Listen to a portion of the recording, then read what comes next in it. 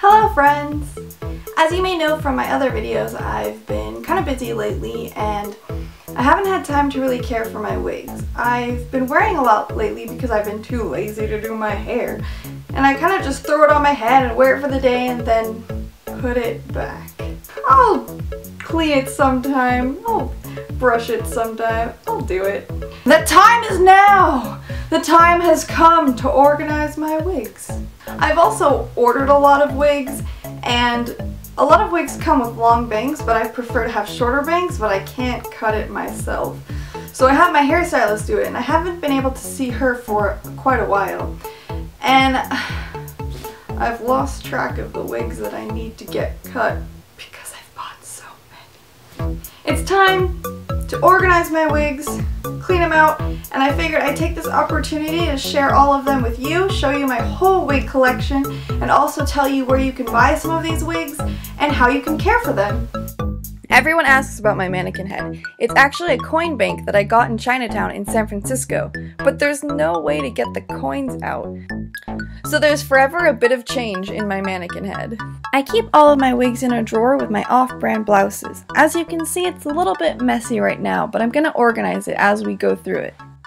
All of my wigs are synthetic, so they resemble real hair, but are actually artificial. All in all, I have 23 wigs and 5 hair pieces.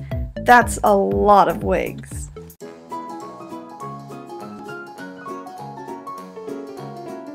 Both of these are from Bodyline. I really like Bodyline's wigs.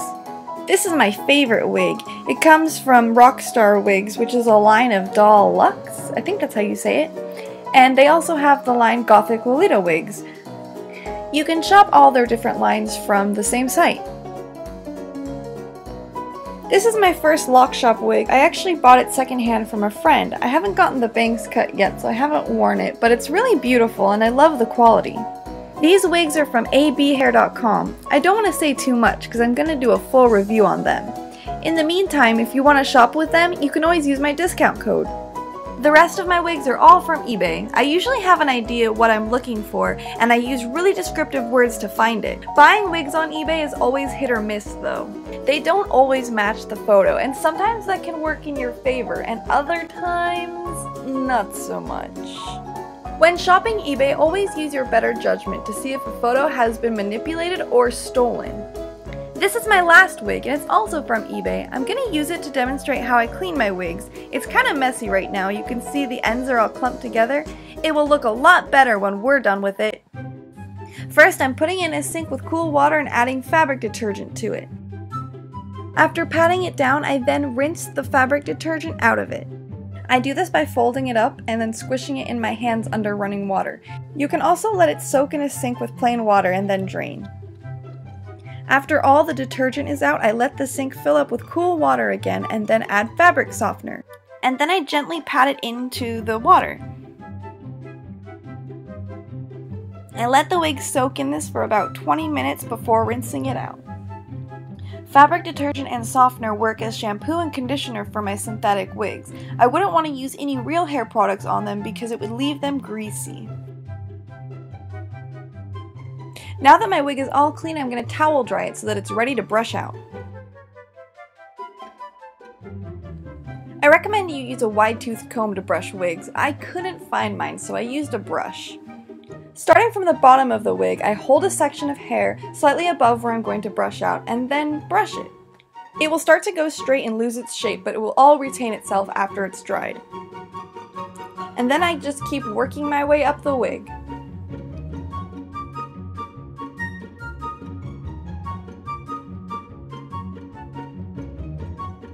Once it's all brushed, I hang it up to dry. Gravity will pull water out of the wig as it dries and cause it to drip. I usually hang it over my bathtub. I use this method with all different style of wigs. The only difference is with tighter curled wigs, I brush out each curl individually. It can be a long process, so I usually put on a podcast or TV show that can entertain me while I'm doing this.